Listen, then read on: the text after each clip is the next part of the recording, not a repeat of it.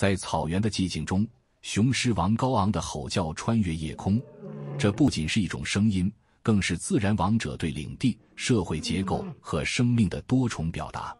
首先，雄狮的吼叫是领地的庄重宣言。通过强有力的吼叫，雄狮向其他雄狮传达着这片土地已经有了主人，这里是他的领地，愿意捍卫到最后一刻。吼叫的强度和频率如同一首领地的交响乐，引领着整个领地的秩序与权威。其次，吼叫是雄狮之间的社交通讯的完美表达。通过吼叫。雄狮可以传达个体的状态、情绪和意图，这种沟通方式帮助雄狮维持社会结构，防范潜在的冲突，使得整个狮群更加有序和稳定。在求偶季节，雄狮的吼叫更是成为一场引人注目的求偶展示。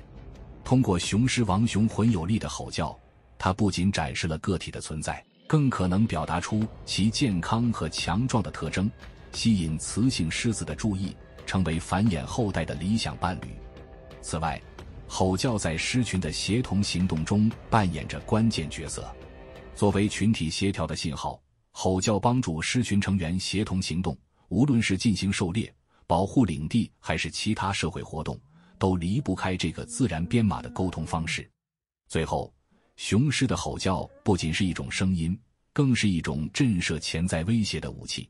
吼叫的声音威猛而有力，能够让其他猛兽感受到王者的存在，从而阻止潜在的威胁对领地的侵犯。